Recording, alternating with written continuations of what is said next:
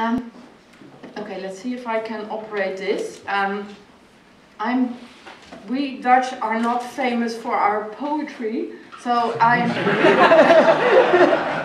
we have movie. so I'm going to play you a movie first and then continue with my Oh, I'm so sorry. okay, that was the shortest renovation ever.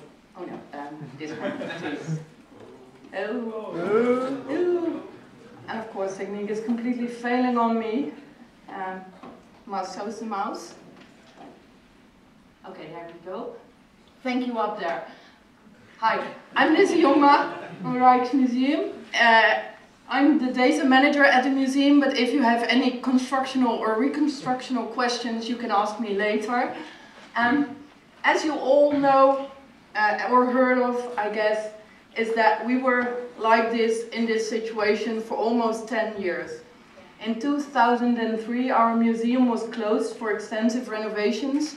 Uh, one of the reasons was that asbestos was found in the building. The other one was that it was leaking and it was renovated so many times that it, it, wasn't anything anymore. It wasn't a 19th century palace of art that it used to be. It wasn't a museum either. So that my uh, management decided that we needed a renovation to bring the building back to its original status uh, as it was at the ending of the 19th century. And bringing something back into its original status sounds easy, but it wasn't. It was Murphy's Law all over the place. It's from um, construction problems to getting a constructor to rebuild the building problems to bicyclists that want to bicycle through the building problems and so on. so we were closed for 10 years instead of the original plan four or five years. And when I say we were closed, um, we weren't really. Next to the Rijksmuseum, there's a small building called the Philipsvleugel, and it was open for all 10 years. And you could see uh, the highlights of the Dutch art in the 17th century. And the weird thing is that everyone in the world seems to know that it was open except for the Dutch.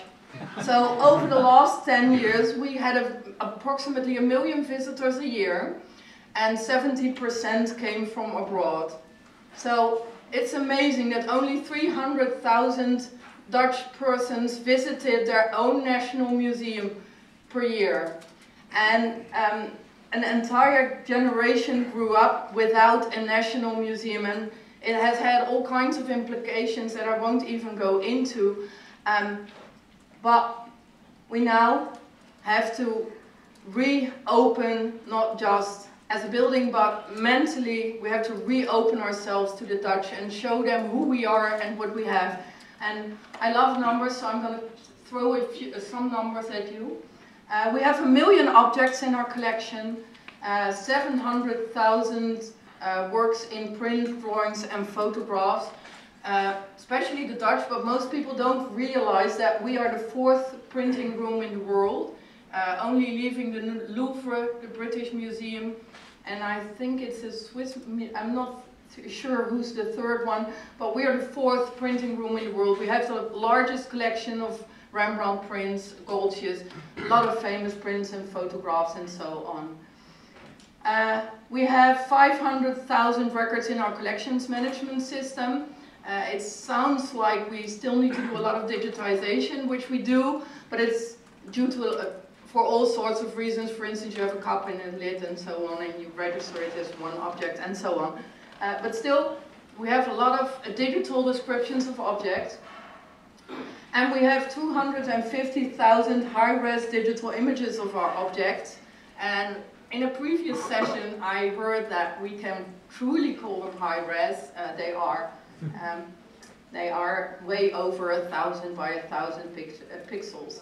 Um, this is also one of the things that we are famous for. Uh, from the beginning uh, of digitization, we started recording all of our objects in the highest quality possible. And we have a very large uh, digital photo studio um, where we uh, test uh, all kinds of new uh, cameras and so on, uh, just to see if the newest Hasselblad is the best on the market and so on. So we're also a test bed for a lot of companies to see if they can meet our uh, technical criteria.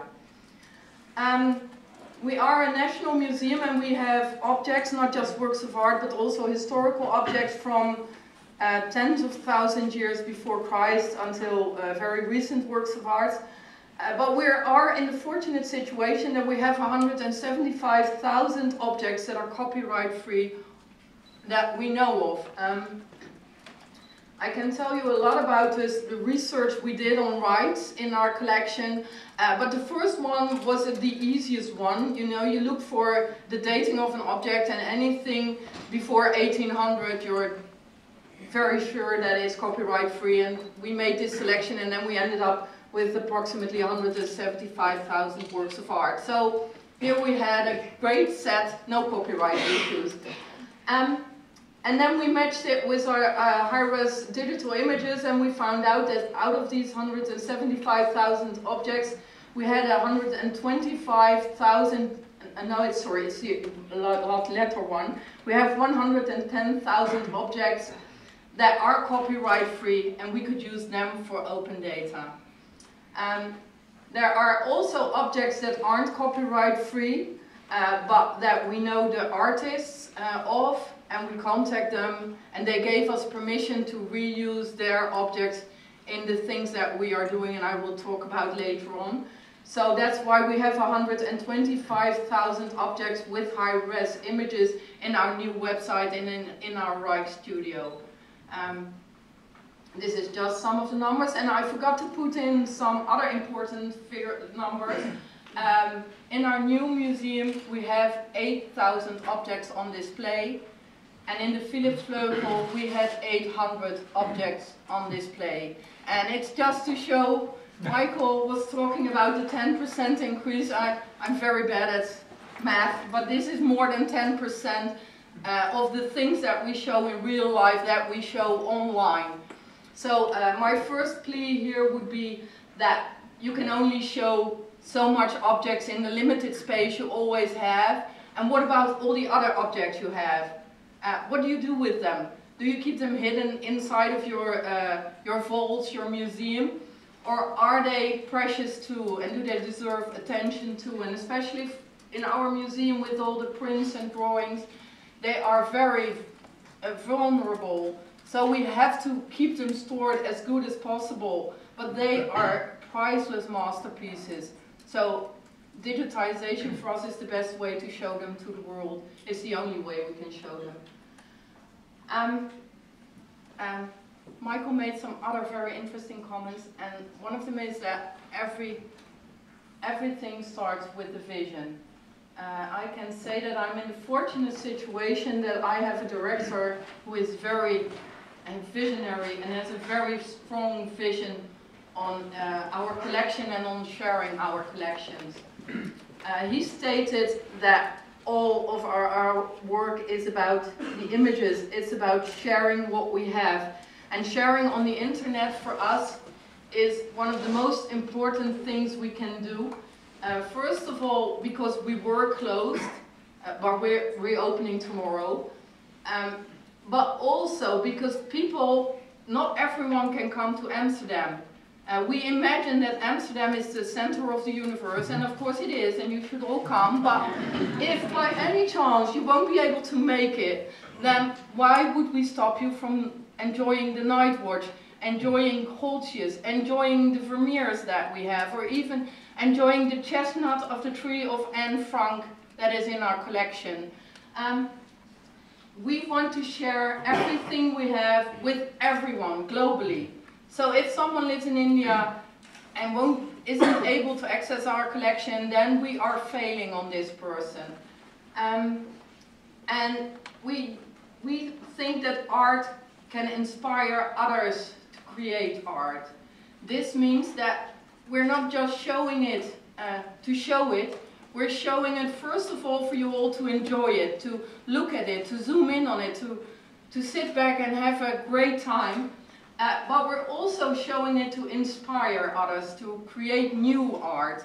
And that's one of the roles that museums usually forget is that they're not just a display uh, place, they're also inspiring people to be creative. That's why I love it when I see all these kids drawing in museums and I hope that one of them will be a new Van Gogh. Van Gogh came to the Rijksmuseum and looked at all the, the Rembrandt painted and paintings and was so much impressed by the way that Rembrandt put paint on, on, on canvas, so different from all the other 17th century painters, that he himself started claying with paint. So that's, that's the goal of a museum and that's what you can do on site, but to a global audience you can do that online as well. And that's what you need the internet for. Um, so this is where we came from. We were so proud when we launched this new website. Uh, I'm sorry that it's all in Dutch. We are Dutch and half of the room here is Dutch, so they can all read what it says, but for the other half, this is our old collections website. We launched this one in 2011, so it's not even old, although it looks as old as can be. Uh, but we launched it and we, we were so happy. Finally, we, first we had 100 most famous objects of the museum online and suddenly we had the entire collection, 300, 400,000 descriptions online and we were, yay, we've got it online now, we've done our job and everyone can enjoy. and wow, you can really enjoy the Rembrandts here. And we looked at the web statistics and we found out that, you know, I, I, can't even remember what the statistics for the entire website were, but I know that this section of the website was visited by 20, 30,000 people a month. And the ridiculous thing is that in this box it said enter search phrase here, and that was actually the most used search phrase. People didn't know what to enter, so they pressed the enter button and that's how it became the most important search enter, search question. so we realized that we were failing on the Dutch and the global audience we wanted to uh, serve. And we went back to the drawing rooms. And this is what the Rijksmuseum website looks, uh, looks like now. Um, we put the images uh, up front. And this, of course, created a big institutional row, row because um, we all work very hard to enter metadata and describe objects and someone else takes the pictures. So it, it is something mentally to deal with when suddenly the image is here and your information is here, the things you worked on. But this is something people want to look at and the reason why we put high-res images online is because you can zoom in. You can see the ends on the painting. And you can zoom in on every picture we have online. And I have to be honest, uh, a week ago I finally saw this picture in real life because it's now hanging in my museum and I was disappointed. I couldn't see the end because there's a wreck in front of it. So you can't see them. I can see them online and I can't see them in real life. So please everyone, put your high-res images online. Some of them are better than the original works of art.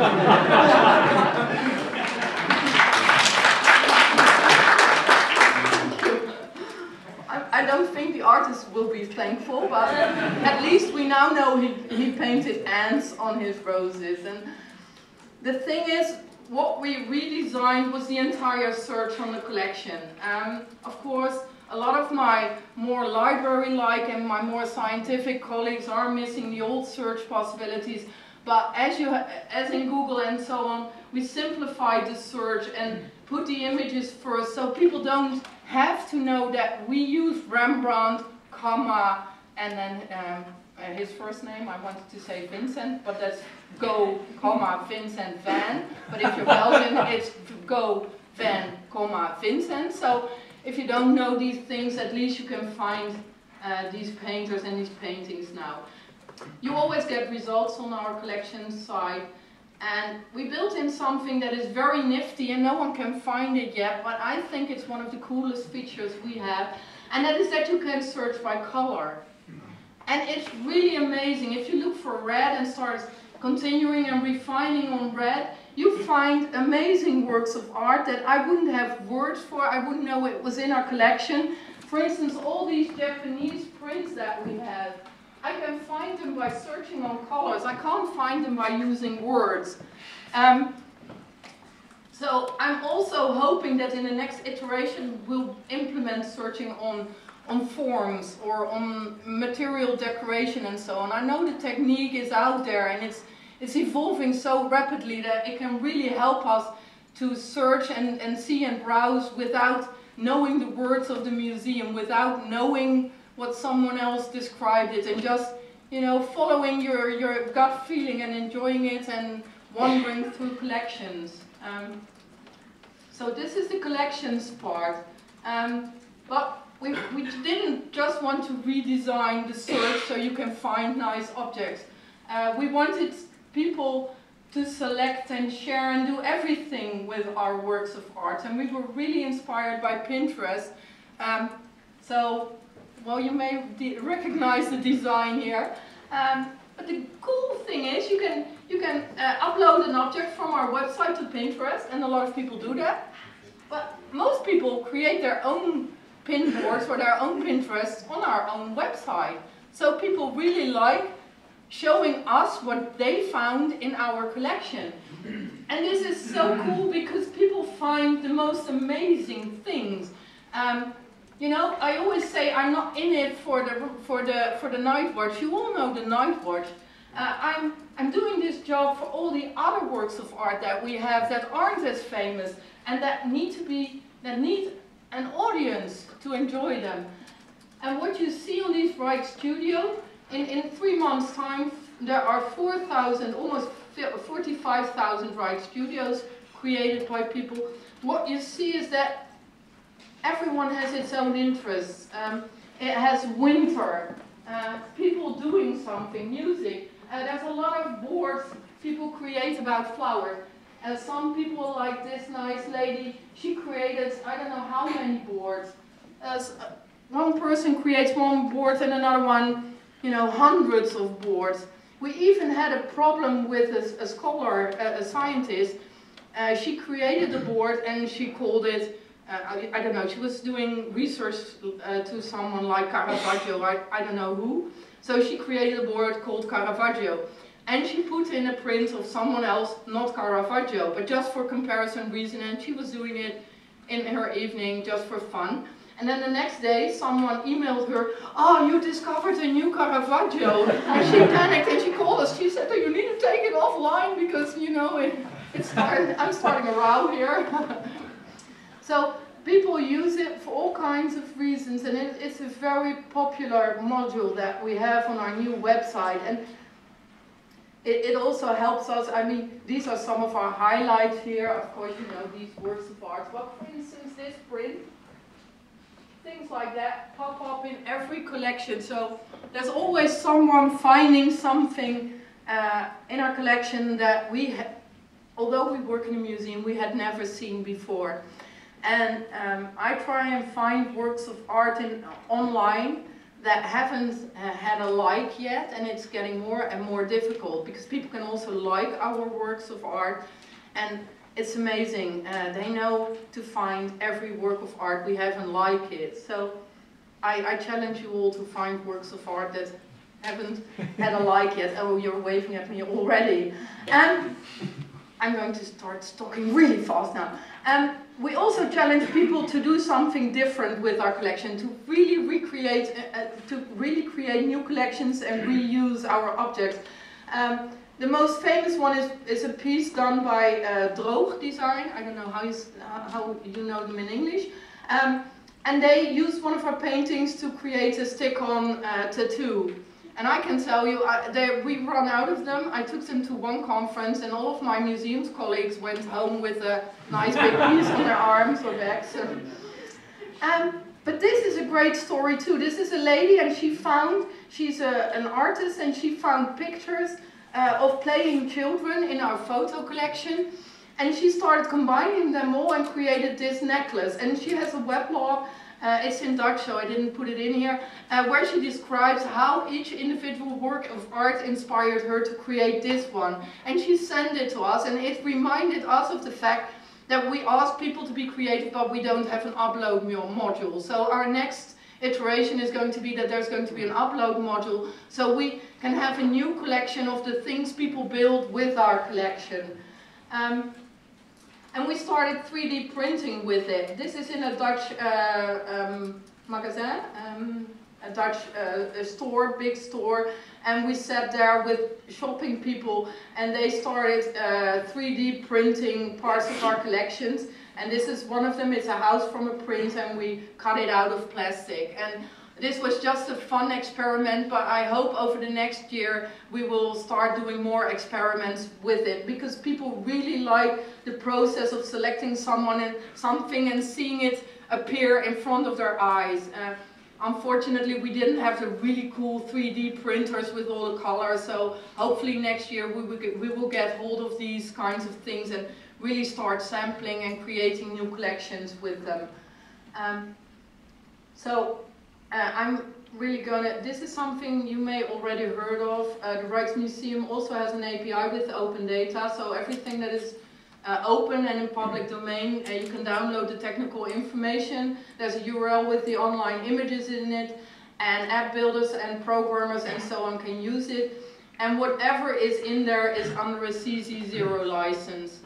Um, also on our, uh, on our website you can download every image uh, and it's, uh, if it's all for free, you can take it and do with it whatever you like.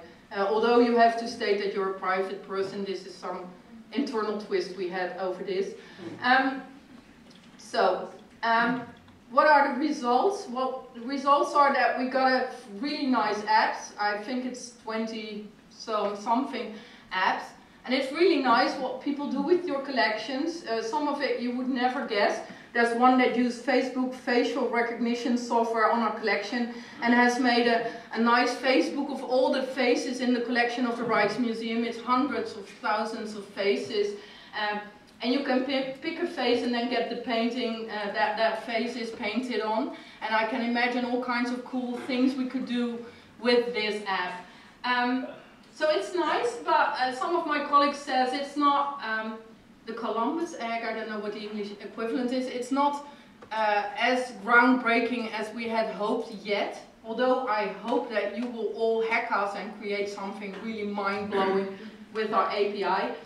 Uh, but it, it created something of a buzz, and it, the buzz is really good for us because the buzz, uh, I wanted to, if someone is interested about licensing and so on, and I'll go back to that, uh, the buzz is that others picked up on our open data, for instance Europeana, uh, the Getty Museum Artstor, uh, Google Art and so on. So now with our API we are able to automatically upload our collection to a lot of the big portals out there. And this means so much exposure to our collection because it's all in Dutch and we are famous, especially right now. Uh, but for instance, Europeana uh, it has a much bigger audience than we have. So we are one of uh, their nice partners because we have all our, our, resolution images on Europeana and they generate such a big audience to our website. Um, they are our number three referral partner and uh, people that come from Europeana to the Rijksmuseum website stay on our website for an average of 15 to 20 minutes. Um, so it's, it's really quality audience. Uh, number one referring partner, of course, is Google. And number two uh, is Facebook, our own uh, Facebook website, Facebook site generates a lot of audience. Uh, and I hope that in the future Wikimedia, Wikipedia will be our number three or number four referring partner too. Um, and coming back to, in my last minute, to some of the slides I skipped. No, technique is failing on me again. Um, I've heard some people uh, talk or ask today what happens if you put your images online high res. Uh, won't people steal your images? Well, this is our reality. They've done it, been there, seen it. I mean, there's nothing to protect for us anymore. Our highlights are on the internet. And the, uh, we, I always show this Google photo um, because I always ask, do you know which one is real milkmaid? so it's out there, everyone is doing it, and it is such a difficult situation for a museum to get your image and the correct, uh, uh, uh, the correct, uh, I can't remember the English, to get your image somewhere up here so people know that you have this original picture in your museum. Um, that's one of the reasons why we put all of our high-res images online.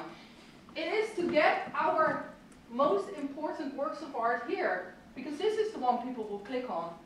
And if school children are making uh, a report, we want them to use our image, so we prefer them to download our high-res image and use them in their report instead of getting it from somewhere else and getting the ugly yellow images. And then, before you cut me off entirely, I'm going to show you this one.